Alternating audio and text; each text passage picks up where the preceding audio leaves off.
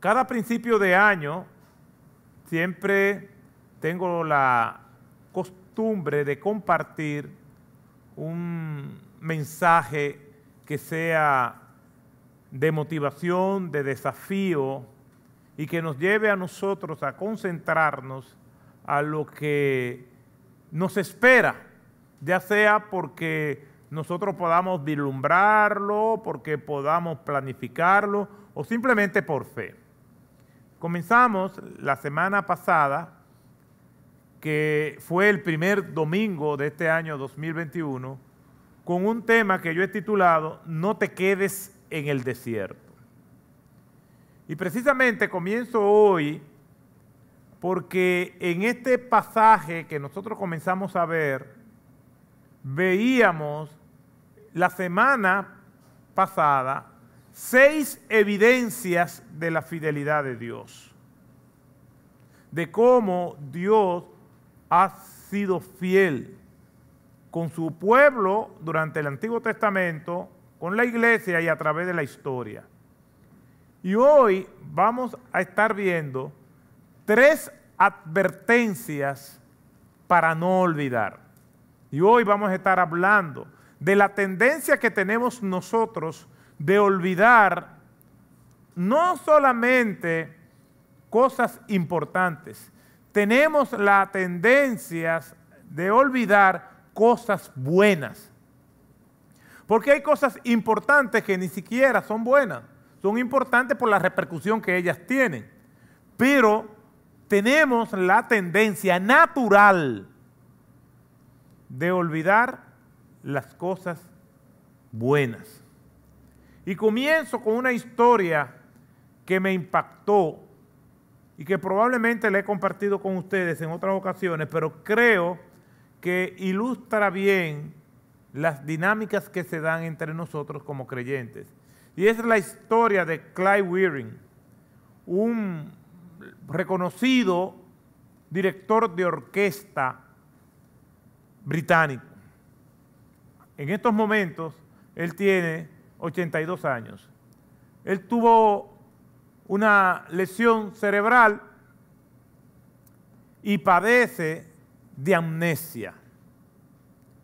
Pero su amnesia, que es la incapacidad de recordar los hechos del pasado, y hay distintas clases de amnesia, muchas personas que sufren de amnesia no recuerdan los eventos antes de que le ocurriera la lesión.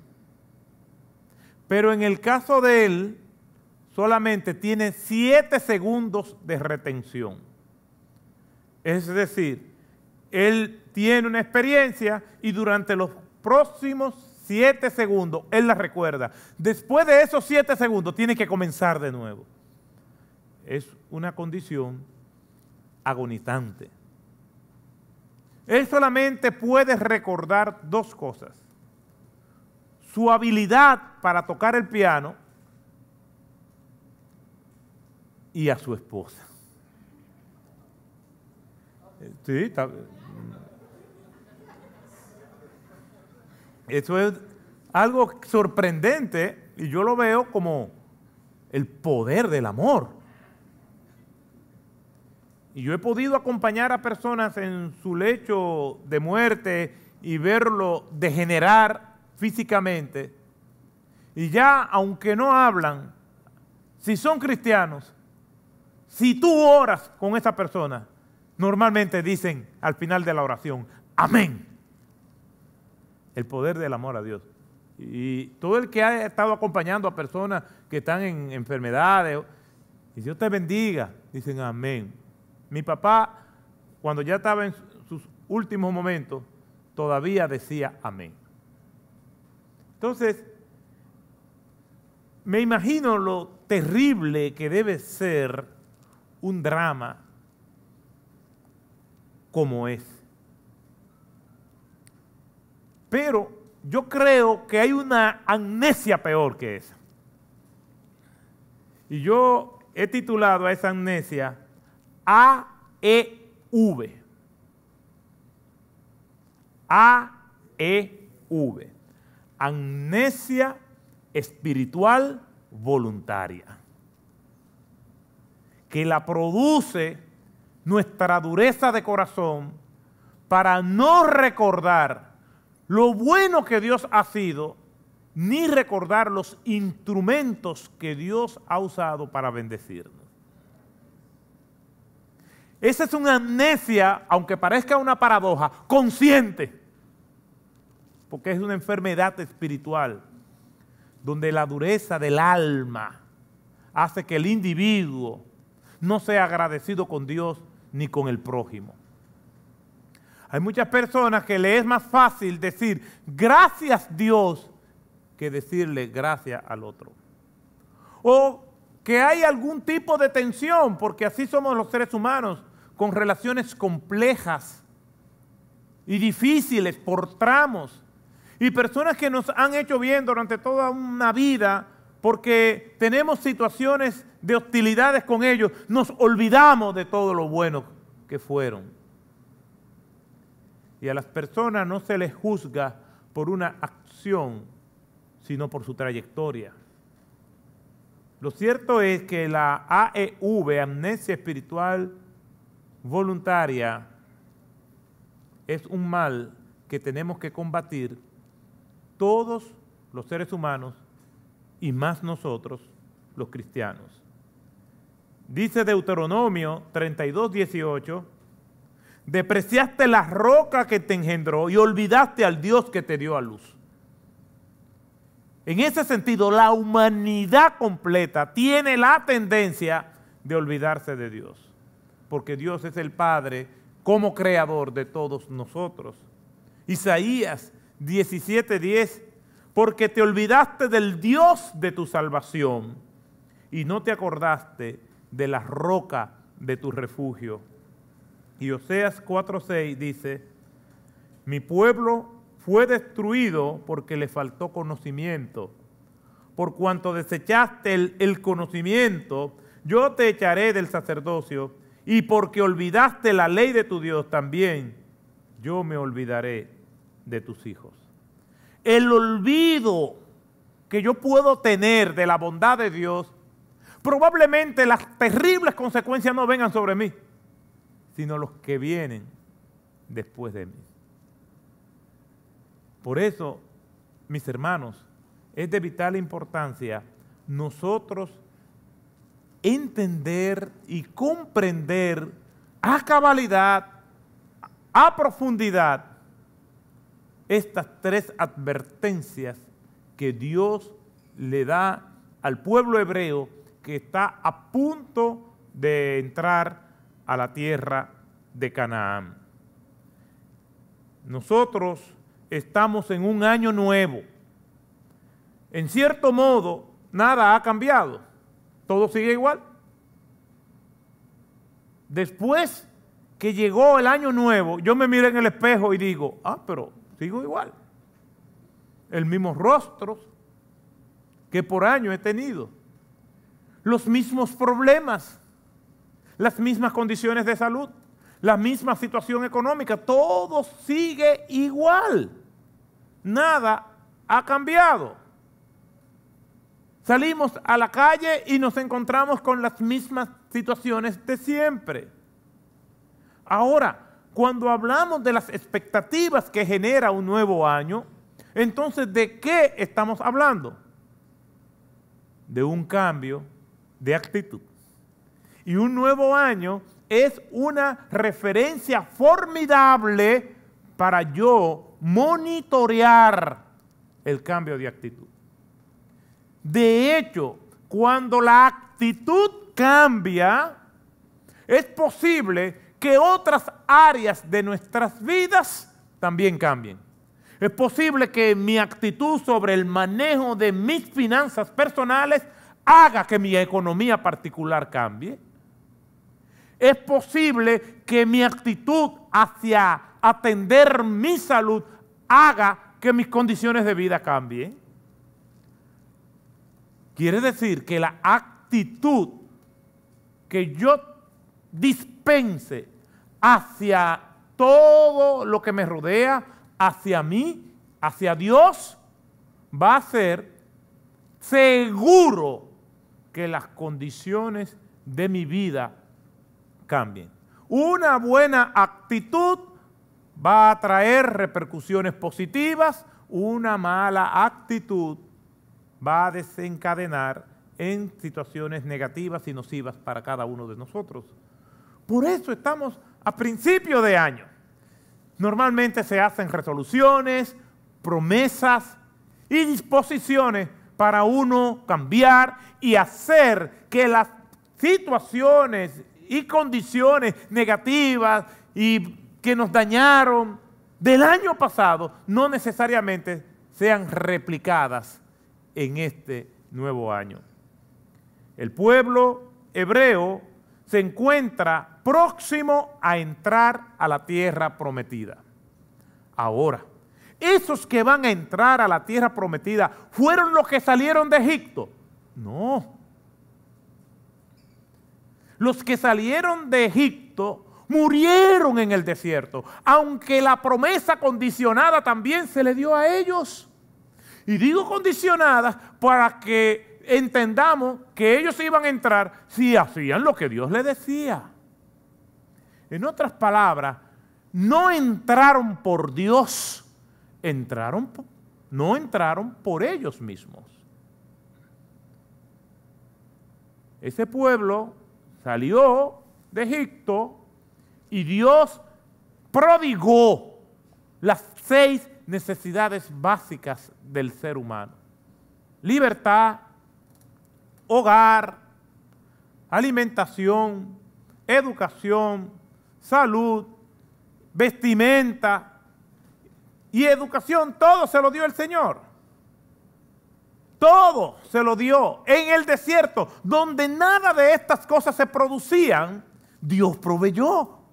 Y Dios se encarga de llevarnos por situaciones difíciles donde no tengamos ninguna esperanza para Él darnos lo que necesitamos para que no tengamos ninguna duda de que el proveedor es Él.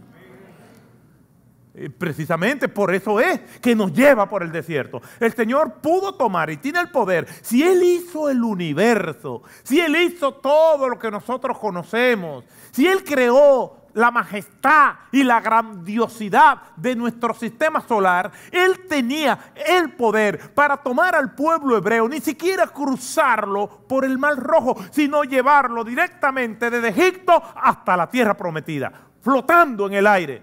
Pero no lo hizo así. Él lo hizo de una manera que ellos pudieran vivir sus procesos.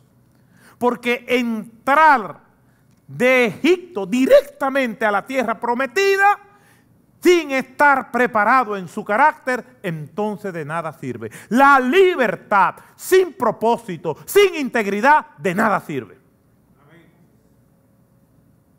Un país que lucha por su libertad y después de obtenerla no sabe cómo administrar esa libertad es un caos. Y la historia universal y cercana nos lo ha dicho. Libertad sin propósito es peor que la esclavitud. Para que sepa. Porque cada quien se constituye en amo y señor de su vida y hace lo que mejor le corresponda. Ellos venían de una opresión, tenían que pasar por el desierto para afinar su vida, para entender que Dios, si lo libró de Egipto, también lo iba a librar del desierto y que Dios le iba a proveer. Y es como dice aquí en el libro de Deuteronomio capítulo 8, para probar tu corazón.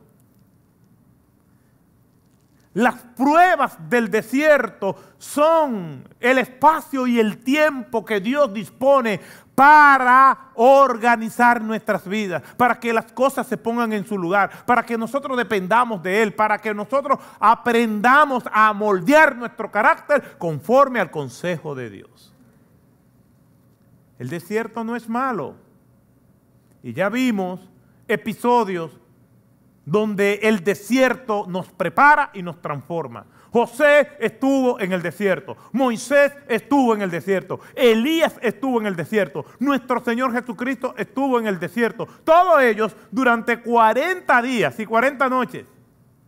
preparándolo a cada uno de ellos en sus respectivas misiones, culminando con nuestro Señor Jesucristo.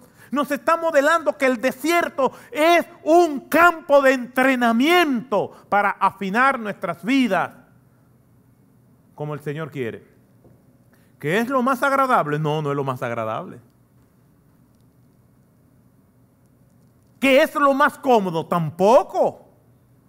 Pero como es un campo de entrenamiento, es transitorio. Y nuestra prolongación en el desierto dependerá no de Dios, sino de nosotros, de cómo vamos aprendiendo las lecciones. El pueblo hebreo pudo haber pasado el desierto rápido, pero como no aprendió la lección, duraron 40 años. Y como no aprendieron ninguna, entonces ninguno de ellos entró. Por eso es la exhortación. No te quedes en el desierto. Quedarse en el desierto es aquella vida que nunca aprende las lecciones del Señor. Y pasan por este mundo sin haber degustado las promesas maravillosas que Dios tiene para cada uno de nosotros. Miren lo que dice la Escritura, clama a mí y yo te responderé y te enseñaré cosas grandes y nuevas que tú no conoces. Si no estás viviendo en esas cosas grandes y nuevas es porque no estás clamando al Señor como Él quiere. Se conforman con que Dios le está dando lo básico. Libertad, educación, hogar, vestimenta y las demás cosas. En otras palabras, eso equivale a que se conforman con la salvación, que es mucho, pero nunca vivirán en la vida abundante, no en sentido económico, sino en sentido integral que Dios ha prometido. Este pueblo está ahora al este de la frontera de Canaán.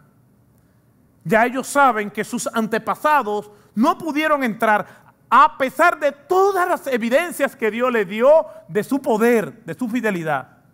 Toda esa generación murió. Solamente Caleb y Josué de esa generación pasada están al frente por ser hombres íntegros que sí aprendieron. ¿Cómo puede ser posible que de tantas personas solamente dos pudieran entrar? Lo grande es que a veces nos sentimos mal cuando vemos el respaldo de Dios a otra gente a otros creyentes y le va bien en su familia, y le va bien en sus negocios, y le va bien en su vida, nos sentimos mal y nos preguntamos, ¿y por qué yo no? No, tú tienes que preguntarle al Dios de los cielos, que es el que orquesta eso, porque Él es soberano. Pero también te debes preguntarte tú, o debo preguntarme yo, ¿qué yo no he hecho para que Dios no me respalde así? Lo cierto es que ellos se encuentran próximos a entrar. Moisés sabe cómo es ese pueblo y le da este discurso de Deuteronomio capítulo 8. Ustedes van a entrar, pero deben saber quién fue que los trajo aquí. Deben saber cuáles son sus condiciones. Y esto es lo que él le dice en estos versículos. Primero les da las seis evidencias de la fidelidad de Dios y ahora les da tres advertencias a que ellos no olviden. Deuteronomio capítulo 8, versículo 11 al 14. Deuteronomio capítulo 8, del 11 al 14. Dice así la escritura. Cuídate de no olvidar al Señor tu Dios, dejando de guardar sus mandamientos, sus ordenanzas y sus estatutos que yo te ordeno hoy. No sea que cuando hayas comido y te hayas saciado y hayas construido buenas casas y habitado en ella, y cuando tus vacas y tus ovejas se multipliquen, y tu plata y oro se multipliquen, y todo lo que tengas se multiplique, entonces tu corazón se enorgullezca y te olvides del Señor que te sacó de la tierra de Egipto, de la casa de servidumbre. El Señor bendiga su palabra. Esos versículos 11 al 14 de Deuteronomio capítulo 8 forman parte de lo que yo llamo las advertencias que Dios da para no olvidar. El ser humano es simple y muy proclive a olvidar, a olvidar las bondades de Dios, a olvidar las bondades de los instrumentos que Dios usa para hacernos bien a nosotros. El pasaje también presenta estas advertencias en formas negativas, en oraciones negativas. No hagas esto, no hagas aquello, no hagas aquello. Y son tres, y yo las voy a compartir con ustedes. La primera es, no te olvides de guardar la palabra de Dios, versículo 11. La segunda, no te olvides de obedecer por las bendiciones, versículos del 12 al 14.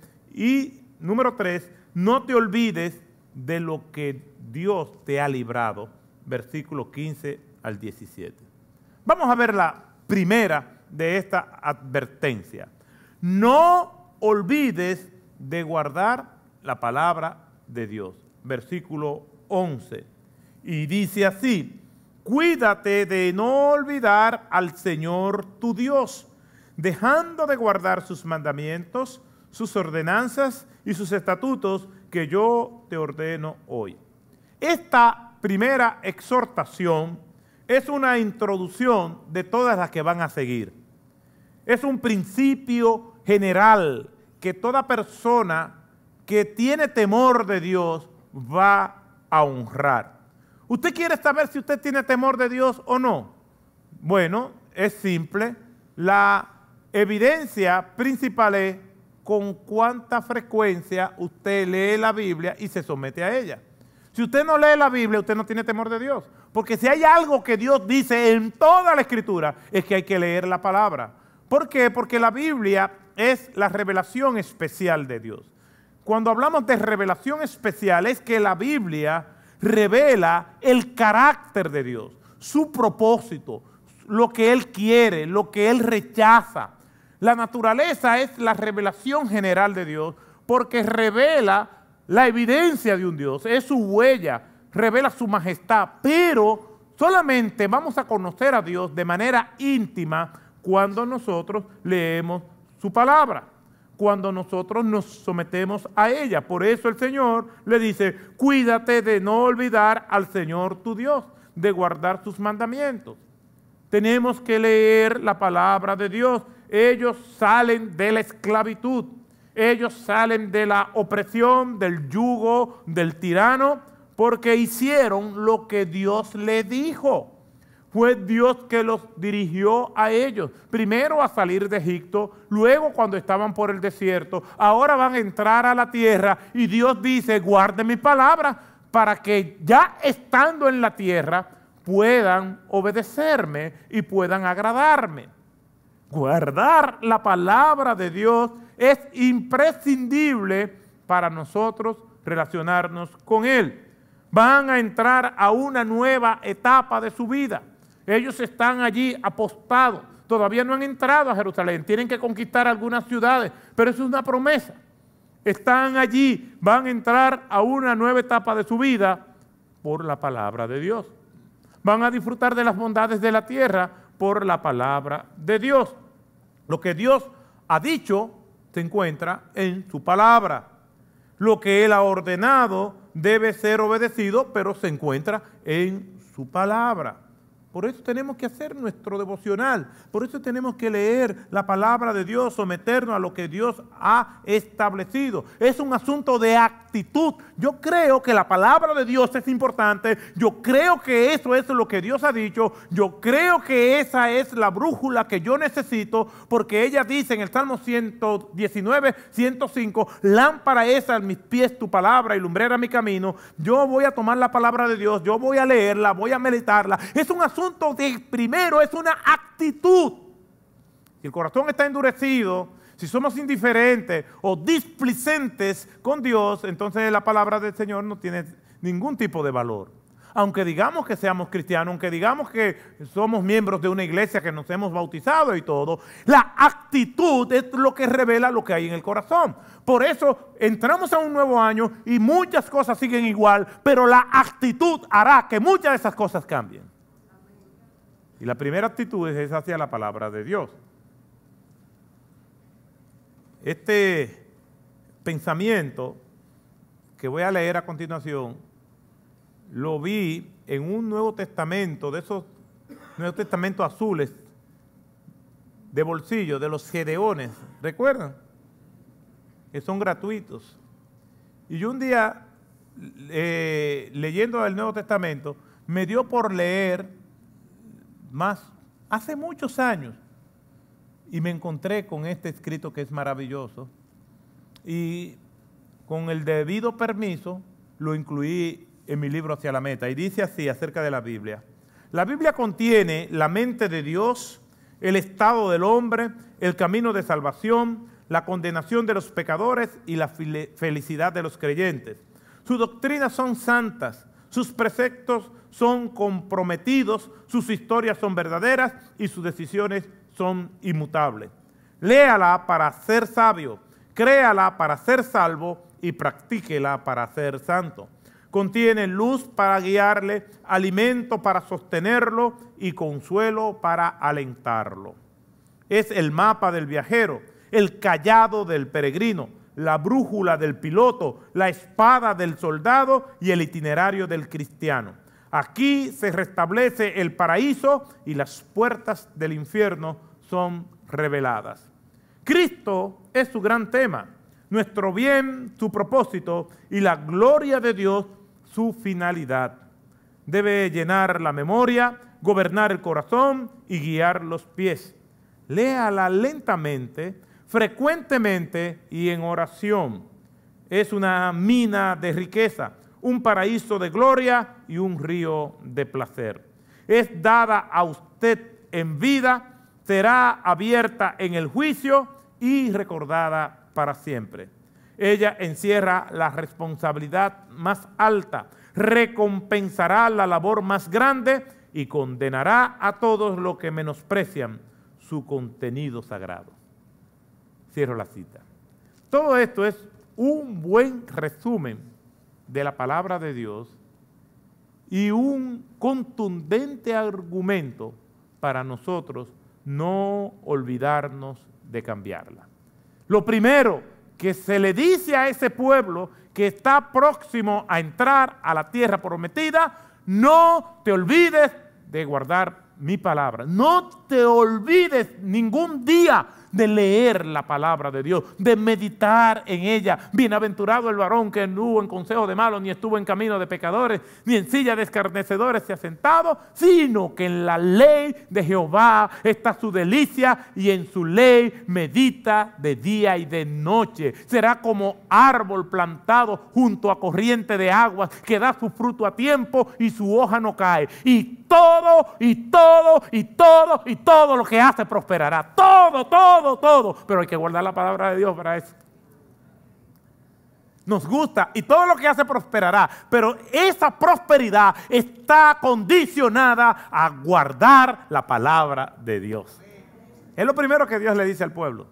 Van a entrar, pero tienen que guardar mi palabra. Van a entrar, pero tienen que obedecerme. Recuerden lo que le pasó a sus antepasados. Teniendo todo a su favor, pudiendo hacer un viaje en corto plazo, aún en 40 años no pudieron o no quisieron entender. 40 años y aún así no quisieron, no les importó. Segunda advertencia, versículos 12 al 14. No te olvides de, la obediencia por las bendiciones obtenidas. Mis hermanos, y aquí hay tela por donde cortar. No te olvides de la obediencia por las bendiciones obtenidas. La tendencia del ser humano es olvidar a Dios para sustituirlo con lo que Dios le ha dado. Le pedimos a Dios por los hijos y después los hijos ocupan el lugar de Dios. Le pedimos a Dios por un trabajo y resulta que ahora no tengo tiempo porque el trabajo que Dios me dio no me deja adorarle. Le pido a Dios que me dé prosperidad económica y resulta que los nuevos amigos y todas las cosas que la prosperidad trae, entonces no me deja servir a Dios. Miren lo que le dice el Señor a este pueblo. Hemos entrado a un nuevo año y tenemos planes, planes que probablemente comenzaron en la primera semana del año, porque es un cambio de actitud. Y es posible que esos planes prosperen. Pues entonces mira lo que Dios nos dice. Mira lo que Dios nos dice.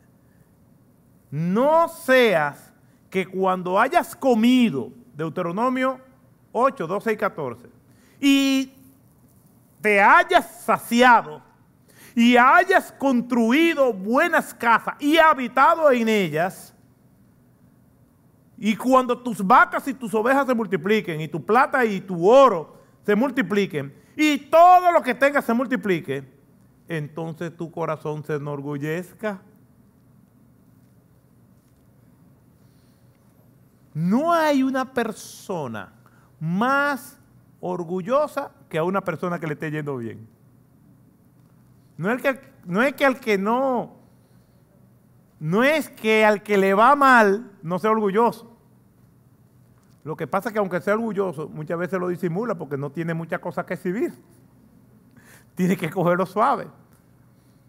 Pero al que le está yendo bien, si no está enfocado, pierde el rumbo.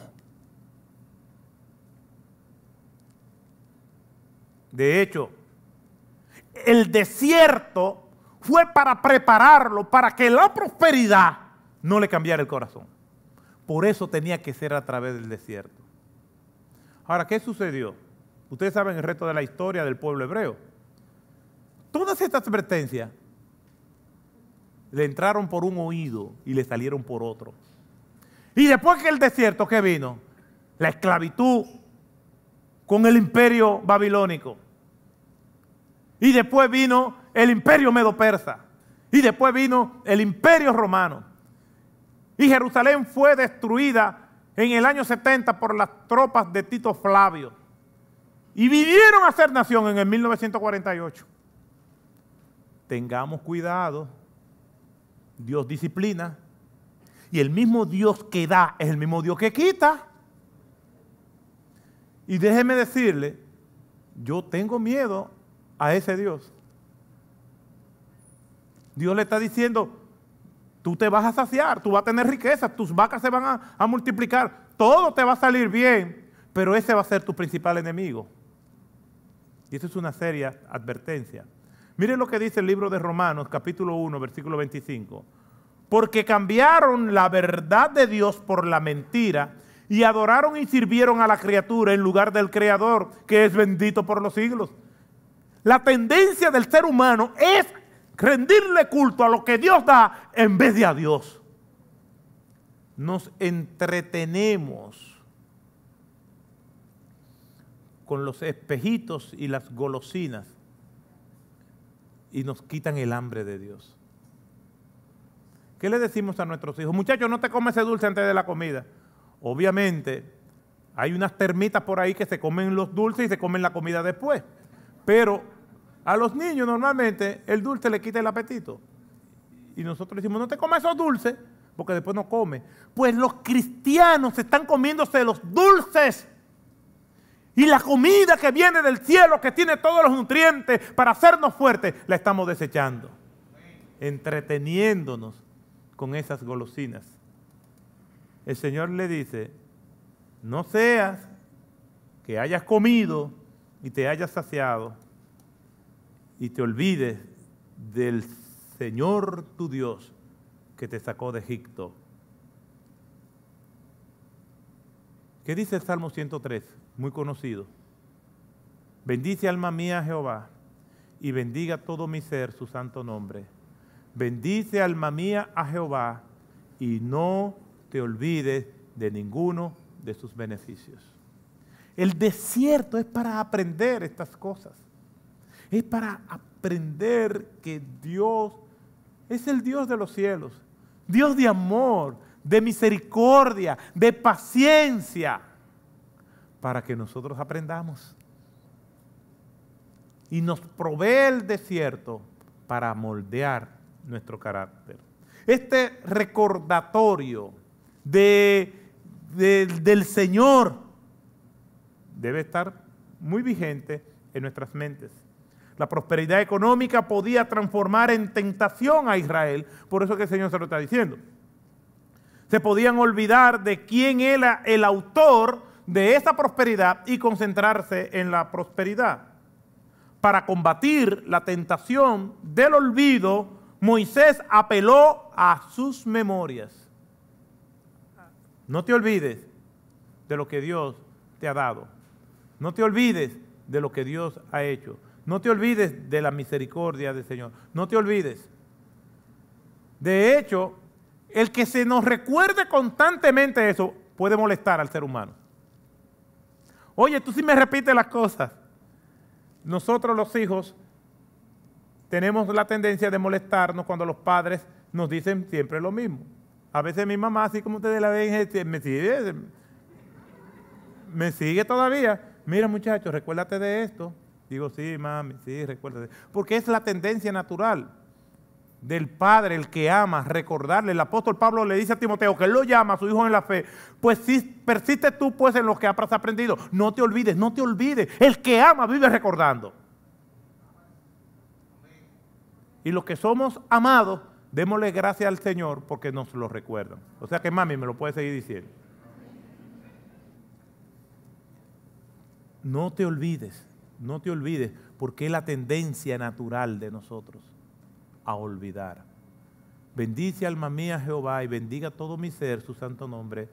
Bendice alma mía Jehová y no te olvides. Ahora, ¿qué sucede? Que cuando nos lo recuerdan, nos molestamos y podemos decir, ay, tú sí me recuerdas lo mismo. Pero a Dios ni siquiera algunos le dicen eso porque ni siquiera lo leen.